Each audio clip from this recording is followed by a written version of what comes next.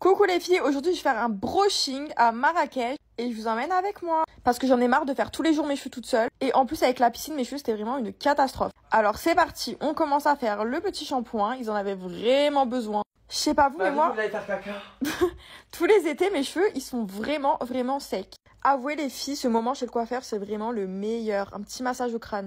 Allez hop, déjà fini, on rince. On passe au masque. Et là, elle m'en a appliqué vraiment sur tout le crâne tellement qu'elle a vu que mes cheveux étaient secs. C'est qu'ils en avaient vraiment besoin. Allez, on passe ensuite au séchage. Et vous allez voir que cette fois, elle va pas me faire le brushing avec le sèche-cheveux. Donc j'ai trop hâte de voir comment elle va faire. Elle a commencé à faire un séchage naturel. Moi, à chaque fois que je viens à Marrakech, j'ai trop l'habitude qu'il me fasse le brushing avec la brosse, vous savez.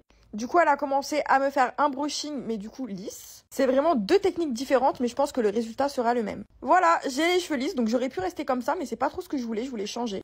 Donc je lui ai demandé de passer aux boucles. Comme vous pouvez le voir, elle a pris un boucleur. Ça fait vraiment des belles boucles boucleur, waouh.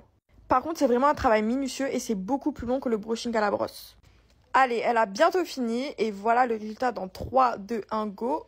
Tadam Dites-moi si vous aimez